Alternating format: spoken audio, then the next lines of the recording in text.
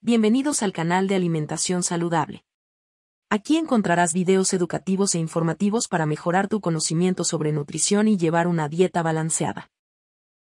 La milenrama, también conocida como Aquilegia millefolium, es una planta herbácea perenne que pertenece a la familia de las Asteraceae. Es originaria de Yurache y se encuentra comúnmente en zonas templadas y subtropicales de todo el mundo. Es una planta resistente y fácil de cultivar, y puede crecer en una amplia variedad de suelos y condiciones climáticas. Existen varios tipos de milenrama, incluyendo la milenrama común, la milenrama blanca y la milenrama rosa. La planta tiene hojas finas y plumosas, que le dan su nombre científico millefolium, que significa mil hojas en latín.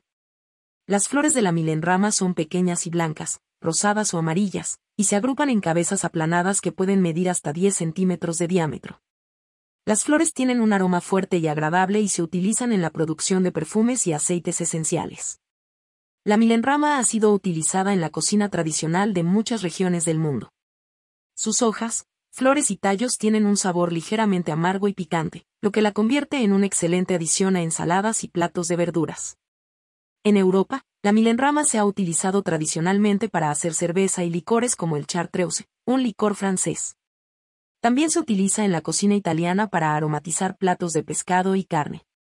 En Asia, la milenrama se utiliza en la cocina tradicional china para hacer un té llamado shuaxian, que se utiliza para tratar una variedad de problemas de salud, incluyendo dolores de cabeza, dolor menstrual y resfriados. En la cocina japonesa, se utiliza en ensaladas y salsas para sushi. También se utiliza en la cocina coreana para hacer kimchi, un plato fermentado de verduras. En la cocina india, la milenrama se utiliza en keris y platos de arroz.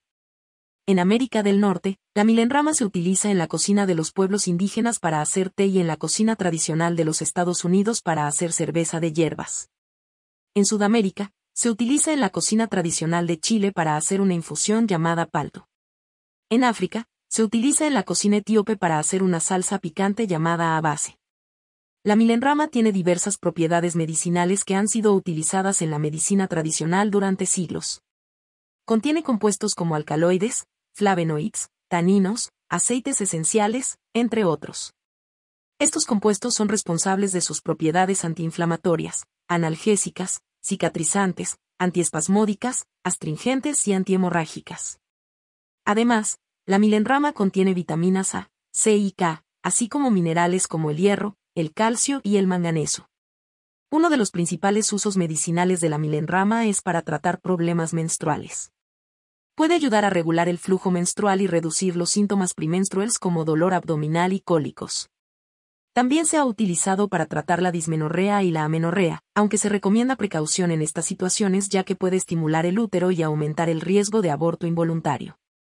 Otras propiedades medicinales de la milenrama incluyen el tratamiento de heridas y quemaduras, ya que sus propiedades astringentes y cicatrizantes pueden ayudar a acelerar la curación.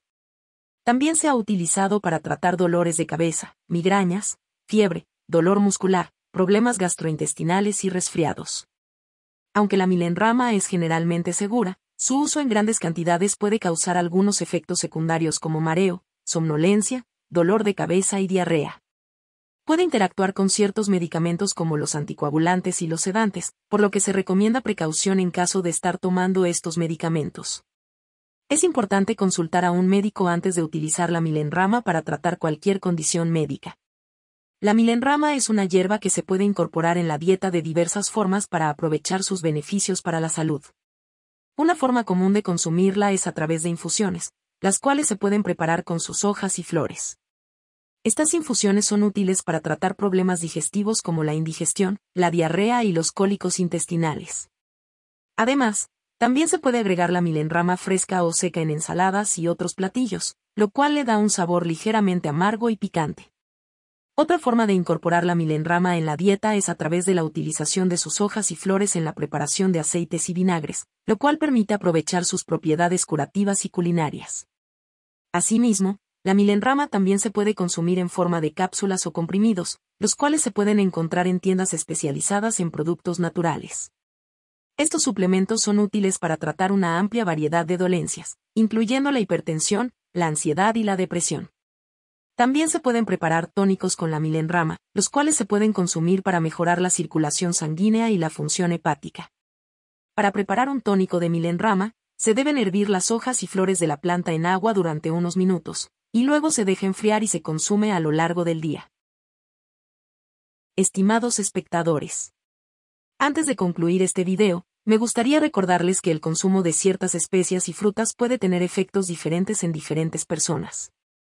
Siempre es recomendable hablar con su médico o profesional de la salud antes de incorporar cualquier alimento nuevo en su dieta, especialmente si padece de alguna condición de salud preexistente o está tomando medicamentos. Este video tiene como objetivo proporcionar información general y educativa solamente y no debe considerarse como consejo médico o de salud profesional. La responsabilidad de tomar decisiones informadas sobre su propia salud recae en usted como individuo. Agradecemos su atención y esperamos que este video haya sido informativo y útil para usted.